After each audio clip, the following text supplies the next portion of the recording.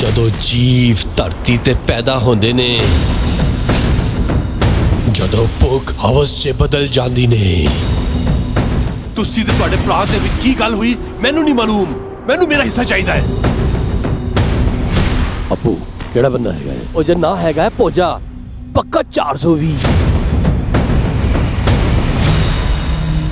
ਜਦੋਂ ਸੱਤਾ ਦਾ ਨਸ਼ਾ ਸਰ ਵਿੱਚੋਂ ਚੜ ਜਾਵੇ, ਜਦੋਂ ਨਿਰਮਲ ਮਨਚੇ ਵਿਸ਼ ਕੁਲ ਜਾਵੇ ਜਦੋਂ ਇਨਸਾਨੀਅਤ ਖਤਮ ਹੋ ਜਾਵੇ, ਤਾਂ ਤੇ ਕਾਲੇ ਜਾਦੂਆਂ ਦਾ ਪ੍ਰਯੋਗ ਸ਼ੁਰੂ ਹੁੰਦਾ ਨਹੀਂ।